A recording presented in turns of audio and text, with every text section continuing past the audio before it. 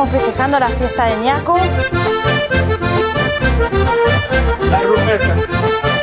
La rupeta se llama la vaca. Bienvenido al Cholar y bienvenido a la fiesta de ñaco.